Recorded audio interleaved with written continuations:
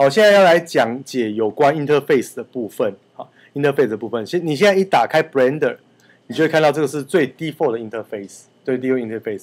你可以看到中间有一个画面，啊，有一个类似方的东西，它实际上是一个 cube，像冰块一样那个那个 cube。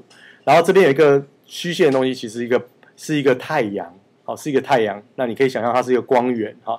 然后在下面一点点的地方是有一个 camera。好，camera，它是一个 camera，它这样照过来，好就会照过来。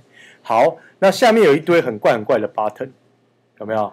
好，那其实它这个 interface 我刚刚讲过是很弹性，它有很多种 setup，所以现在的这个 interface 叫 model 的 interface，做 modeling 的时候用的 interface。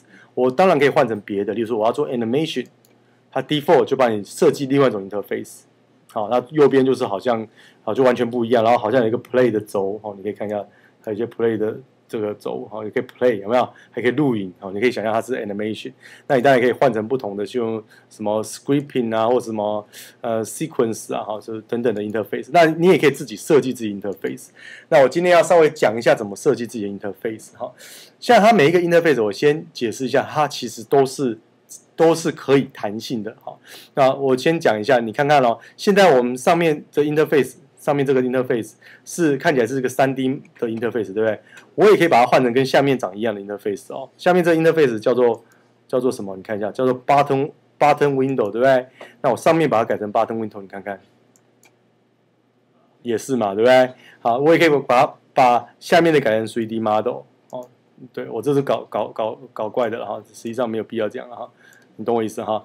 好，那我当然我把它弄回来，我告诉你说，它每一个。都是都是呃独立的 interface 好，然后而且你可以自由的换。再来，我可以 layout 可以换，就是我可以让它像是上下两个，对不对？那那我可以把它增加一个。仔细看我的动作哦，我移到两个 interface 中间，你们看它变一个手？在你的电脑里面，如果你是 Windows 的话，应该是变成一个上下的箭头。你按右键会出现三个三排英文，一个叫 Split Area 啊，显然我要切东西就用 Split Area 啊。切就出现一个切的刀的痕，有没有看到？好，我可以这样切。好，我再做一次哦。我我还要再切一个横的哈，我就在直的这个地方，vertical 的地方按右键，再 split，再切，就变这样了。OK，那我当然可以把它都变成不一样啊。例如说，我这边变啊不一样的东西啦哈，那你就可以这样来设计。那我一般来讲做 model 的时候，我会有三个 view。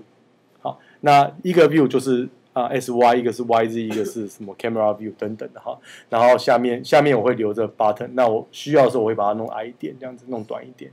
好，好，这个大概是有关 Interface 的部分。那 Interface 我再讲一个一点点东西就好，它其实还有一个隐藏的，这可能很多人不知道哈。其实，在最上面把它有一个手把它拖下来，它一个隐藏的 Interface 哈。这 Interface 里这这个 Interface 是比较特别的，它从头到尾是在做一些比较呃基础的设定，例如说。File 的 path 好，常常今天待会大家就遇到说，你做好东西你要存档，然后放到哪里，你会找不到你的档案在哪里哈，这边就是你的 File path 哈。那 Auto Save 一一呃几分钟会被存一次哈，那系统要怎么设定，OpenGL 要怎么设定哈，等等，这个是这是有时候设一两次就好，那没事就不要来动它，就把它收起来这样子。好，那我有关 Interface 的部分就讲到这边。